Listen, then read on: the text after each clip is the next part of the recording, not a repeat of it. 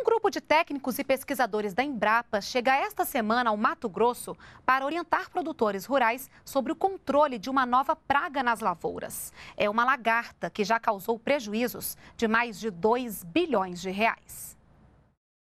A lagarta Helicover parmígera foi encontrada no Brasil em fevereiro do ano passado. A nova praga tem o potencial de causar grandes danos às lavouras, principalmente milho, feijão, soja e algodão. A caravana Embrapa Conhecimento a Caminho tem o objetivo de levar informações sobre o manejo desta e de outras pragas.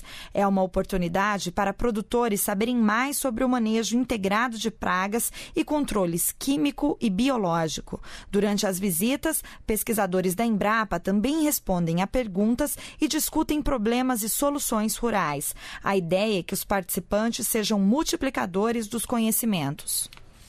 O próximo estado a ser visitado pela Embrapa é Mato Grosso do Sul. As ações da caravana começaram em dezembro do ano passado e já passaram pelos estados de Goiás, Rio Grande do Sul e Distrito Federal. Para saber mais informações, é só entrar no site da Embrapa.